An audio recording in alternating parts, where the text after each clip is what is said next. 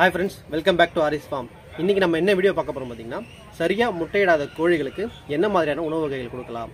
இந்த முட்டையிடாத தன்மை ஏன் வருது? எதனால் வருது?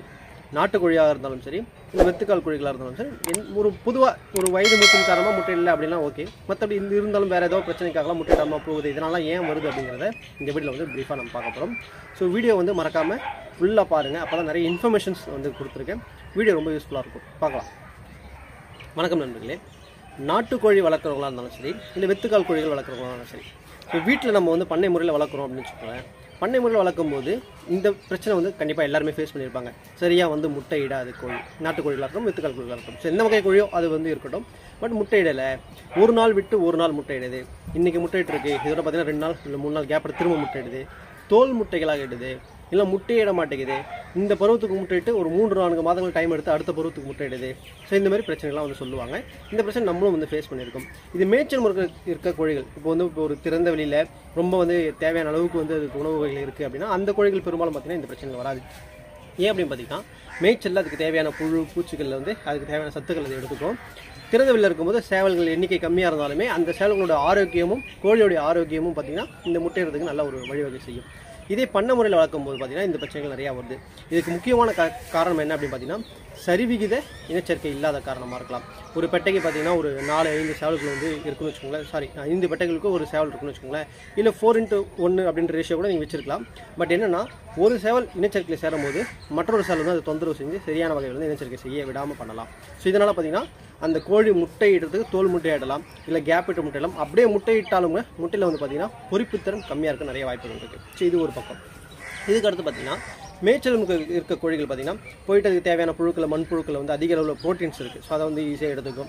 ஸோ நிறைய பூச்சிகள் கிடைக்கும். அப்புறம் காய்கறி வேஸ்ட்டுகள் கிடைக்கும். பசுந்தீவனங்கள் கிடைக்கும். ஸோ இந்த மாதிரி எல்லா வகை தீவனங்களும் அது கிடைக்கிறதுனால நல்ல ஆரோக்கியமான ஒரு உடலமைப்பில் நல்லா வந்து இருக்கும் அது. இதே பண்ணை முறையில் இருக்கும்போது இப்படி கிடையாது. நம்ம என்ன தீவனங்கள் கொடுக்குறோமோ அதை கொடுப்போம். பெரும்பாலும் பார்த்திங்கன்னா அரிசி கொடுப்போம் கோதுமை கொடுப்போம் கம்பு கொடுப்போம். கேழ்வரகு மேக்ஸிமம் ரொம்ப ரொம்ப குட்டியாக இருக்கிறது பெரிய கோழிகளுக்கு நம்ம வந்து கேழ்வரகு கொடுக்குறது கிடையாது. ஸோ இந்த மாதிரி நிறைய வகைகள் கொடுப்போம். பட் இது எல்லாமே கொடுத்தாலுமே அதுக்கு தேவையான சத்து கிடைச்சிருமா அப்படின்னு பார்த்தீங்கன்னா கிடைக்காது. ஸோ நிறைய கால்சியம் டெஃபிஷியன்சி வரதுக்கான வாய்ப்புகள் இருக்குது விட்டமின் டெஃபிஷியன்சி வரதுக்கான வாய்ப்புகள் இருக்குது இந்த காரணத்தினால தான் பார்த்தீங்கன்னா முட்டைகள் வந்து ஒரு நாள் விட்டு ஒரு நாள் இல்லை ஒரு நாள் விட்டு ஒரு மூணு நாள் கழித்து இல்லை வந்து தோல் முட்டைகள் வருது இந்த மாதிரி பிரச்சனைகள்லாம் வரதுக்கு நிறைய வாய்ப்புகளாக அமையுது ஸோ நீங்கள் கொடுக்கும்போதே சரிவிகித உணவாக கொடுக்கணும். சத்து நிறைஞ்ச உணவாக கொடுக்கணும். நல்லா ப்ரோட்டீன்ஸ் அதிகமாக இருக்க உணவாக கொடுக்கும் ஸோ இந்தமாரி கொடுக்கும்போது பார்த்தீங்கன்னா கண்டிப்பாக இந்த பிரச்சனை வந்து நீங்கள் தவிர்த்துக்கலாம். எக்ஸ் ஷெல் அப்படின்னு சொல்லிட்டு பார்த்தீங்கன்னா ஒரு பவுடர் இருக்குது ஸோ இந்த பவுடரும் பார்த்தீங்கன்னா தண்ணியில் கலந்து நீங்கள் வச்சுட்டு வரலாம்.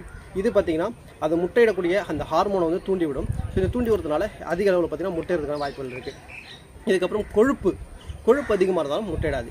ஸோ கொழுப்பு கரையத்துக்கு பார்த்தீங்கன்னா நம்ம இதுக்கு முன்னாடி நிறைய வீடியோஸ் நம்ம கொடுத்துருக்கோம்.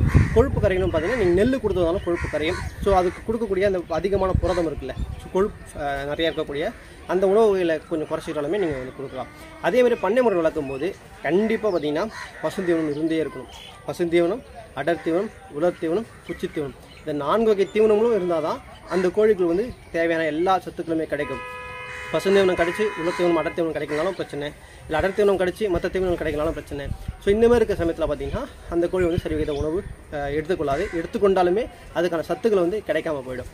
இது மெயின் பிரச்சனையாக இருக்குது ஸோ இதெல்லாம் தவிர்க்கணும்னா என்னென்ன உணவுகள்லாம் கொடுக்கலாம் பார்த்தீங்கன்னா ஏற்கனவே சொன்னது தான் கம்பு மக்காச்சோளம் கேழ்வரகு இதெல்லாம் கொடுத்தீங்கன்னா நல்லா ப்ரோட்டீன்ஸ் நல்லா உங்களுக்கு ஃபைபர் நிறைய கண்டென்ட் இருக்குது ஸோ கால்சியம் விட்டமின் விட்டமின்ஸ் எல்லாமே அதில் கிடச்சிரும். அது இல்லாமல் எக்ஸ் இந்த எக்ஷன் சொல்லிட்டு ஒரு பவுடருக்கு இதையும் கொடுத்துருவாங்க தனியில் கொடுத்துருவாங்க. அதுக்கடுத்து பார்த்தீங்கன்னா பசுந்தீவனம் கொடுத்துருவாங்க. அசோலா கொடுத்துட்டு வரலாம். அதிக அளவு சத்து உள்ள ஒரு பொருளாக இருக்குது அசோலா பசுந்தீவனம் வகை சேர்ந்தது கூட. ஸோ அசோலா கொடுத்துருவோம் தீவன செலவு குறையிறதுக்கு நிறைய வாய்ப்புகள் இருக்குது அசோலா கொடுத்துட்டு வரலாம். கீரை வகைகள் நிறைய சேர்த்துருவாங்க ஸோ காய்கறி கடையிலே பார்த்தீங்கன்னா மாலை டைமில் போனீங்கன்னா ஈவினிங் டைமில் போனீங்கன்னா உங்களுக்கு ஃப்ரீ ஓரளவுக்கு ரேஸ்ட் கம்மியாகவே பார்த்தீங்கன்னா உங்களுக்கு கீரைகள் கிடைக்கும். வாழையில் கொடுத்துட்டு வாங்க. நிறைய பசுந்தீவனம் சேர்த்துட்டு வாங்க. அதுக்கப்புறம் பார்த்தீங்கன்னா கரையான். கரையான் வந்து ஒரு பெஸ்ட்டு அதுங்களுக்கு பார்த்தீங்கன்னா ப்ரோட்டீன் அதிகமாக இருக்கக்கூடியது கரையான். ஸோ இதெல்லாம் கரையான்லாம் உற்பத்தி பண்ணி நான் போட்டு பண்ண முடியாது. மண்புழுவை போய் டெய்லியும் தோண்டி எடுத்து வந்து அதுக்கு போட முடியாது. ஸோ இப்போ அடர்த்தி கடையில் வைக்கிறது வாங்கி போட்டுறோம். ஒரு குச்சி வித்தனை வாங்கி வைக்கிறது கடையில் போட்டுறோம். இல்லை பசுந்தீவனம் கூட கீரை கூட வாங்கி போட்டுறோம். பட் இதெல்லாம் பண்ண முடியல அப்படின்னு நினைக்கிறவங்க ஸோ மீன் வேஸ்ட் நீங்கள் கொடுக்கலாம். நைன்டி நைன் பர்சன்ட் பார்த்தீங்கன்னா பெஸ்ட்டு ப்ரோ அதிக ரிச் ப்ரோட்டீன் இருக்குது பார்த்தீங்கன்னா மீன் வேஸ்ட்டில் இருக்குது ஸோ நீங்கள் உங்கள் ஊர்லேயே நிறைய இடத்துல பார்த்தீங்கன்னா மீன் கடை போட்டுருப்பாங்க. ஸோ அந்த கடையில் போயிட்டு நீங்கள் சொல்லி வச்சிட்டிங்க அப்படின்னா அவங்க கேரி பேக்கில் அந்த மீன் வேஸ்ட்டை தலை தலையை விட்டுறது அந்த உடம்பு பாதி பாதி மீதி எல்லாத்தையுமே உங்களுக்கு எடுத்து வச்சுருவாங்க. செதில்கள் அது மாதிரிலாம் எடுத்து வச்சுருவாங்க. ஸோ நீங்கள் எடுத்துகிட்டு வந்து அதில் தேவையில்லாத அந்த கோழிக்கு பாதிப்பு தரக்கூடிய அந்த முள் இந்த மாதிரி இருந்துச்சு அதெல்லாம் நீக்கிட்டு அந்த அந்த கலவையை பார்த்தீங்கன்னா நீங்கள் கொதிக்க வைக்கணும். ஸோ வந்து அப்படியே நீங்கள் கொடுத்துடக்கூடாது கோழிக்கு ஏன்னா அது இரண்டு மூன்று நாலு நாட்கள் ஆக்கும் அந்த மீன்கள் வந்து ரொம்ப நாள் நீண்டு வரணுன்றது நிறைய கெமிக்கல்ஸ் யூஸ் பண்ணுவாங்க. ஸோ அதனால கூட கோழிக்கு பாதிப்படலாம் ஈஸியாக நோய் தொற்றுக்கு ஆளாயிடும் கோழிகள். ஸோ அந்த மாதிரி இல்லாமல் அந்த கொண்டு வந்த அந்த மீன் கழிவுகளை நீங்கள் வந்து ஒரு கொதிகலனில் வந்து நல்லா கொதிக்க வச்சு நல்லா ஒரு குழுமம் மாதிரி நல்லா மிக்ஸ் ஆகிற மாதிரி நல்லா அரைச்சி கூட வந்து மஞ்சள் தூள் கொஞ்சம் சிறிதளவு உப்பு கொஞ்சம் பார்த்தீங்கன்னா மிளகு கொஞ்சம் ஜீரகம் இதெல்லாம் பார்த்தீங்கன்னா செரிமான கோளாறு எதுவும் வந்துடக்கூடாது. ப்ளஸ் வந்து உங்களுக்கு ஆன்டிபயோட்டிக்கும் அது வந்து இருக்கணும். அதே சமயத்தில் பார்த்தீங்கன்னா நல்ல அந்த ப்ரோட்டீன் வந்து நல்லா போயிட்டு கரெக்டாக போய் சேரணும் கோழிகளுக்குன்றதால இதேமாரி வந்து பண்ணிக்கலாம். ஸோ இந்தமாரி குழுமமான பின்னாடி கொஞ்ச நேரம் ஆற வச்சுட்டு அப்படியே அந்த கோழிகளுக்கு நீங்கள் கொடுக்கலாம். ஸோ இதை பற்றி நான் வீடியோ ஆல்ரெடி போட்டிருக்கேன். ஸோ இதை பற்றி இன்னொரு உங்களுக்கு தேவை இது எப்படி பண்ணணும் எப்படி ப்ரிப்பேர் பண்ணணுன்ற வீடியோ உங்களுக்கு தேவை அப்படின்னா நீங்கள் டிஸ்கிரிப்ஷனில் கமெண்ட்டில் வந்து கமெண்ட் பண்ணுங்கள் நான் டிஸ்கிரிப்ஷனில் அந்த பழையோட லிங்க் நான் உங்களுக்கு ஷேர் பண்ணுறேன் புதுசாக உங்களுக்கு வீடியோ போடணும் அப்படின்னாலும் நான் உங்களுக்கு போடுறேன். சரிங்களா? இந்த மாதிரி நீங்கள் கொடுக்கும்போது உங்களுக்கு இந்த முட்டை இடாத கோழிகள் நல்லா முட்டையிடும்.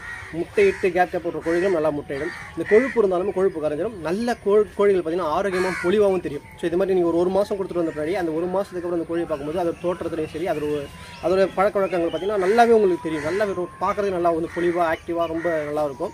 ஸோ இது என்னோட எக்ஸ்பீரியன்ஸில் நம்ம வந்து பெரிய பெரிய பண்ணை லெவலில் பண்ணும்போது நாங்கள் இதை பண்ணியிருக்கோம். இது மூலயமா உங்களுக்கு நிறைய வந்து பார்த்திங்கன்னா பெனிஃபிட் இருக்குது ஃபஸ்ட்டு பார்த்தீங்கன்னா இது ரொம்ப சீப்பு ப்ரிப்பரேஷன் மட்டும்தான் உங்களுக்கு டைம் எடுத்துக்குது.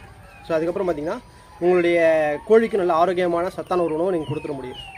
ஸோ உங்களுக்கு அந்த ஃபுட் மெயின்டெனன்ஸ் பார்த்தீங்கன்னா ரொம்ப ரொம்ப ஈஸியாக இருக்கும் இது. அதுக்கப்புறம் அசோலா பசுந்தீவனம் போகும்போது அசோலா. ஸோ இந்த ரெண்டு தீவனமே பார்த்தீங்கன்னா உங்களுக்கு நீங்கள் நூறுரூவா செலவு பண்ண வேண்டிய இடத்துல ஒரு இருபது ரூபா செலவு பண்ணாலே போதும். ஸோ எண்பது ரூபா உங்களுக்கு மிச்சம் பண்ணி கொடுத்துரும். அதே சமயத்தில் உங்கள் கோழி ஆரோக்கியமாகவும் நல்லா வந்து பொலிவாகவும் வாடுறதுக்கும் இது வந்து ஹெல்ப் பண்ணும்.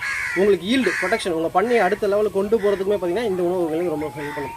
இந்த வீடியோ உங்களுக்கு யூஸ்ஃபுல்லாக இருக்கு வந்துட்டு வீடியோவில் ஏதாவது உங்களுக்கு சந்தேகம் இருந்துச்சுன்னா கீழே கமெண்ட்ஸில் கேளுங்க. ஸோ நான் உங்களுக்கு வந்து டவுட் கிளியர் பண்ணுறேன் தேங்க்யூ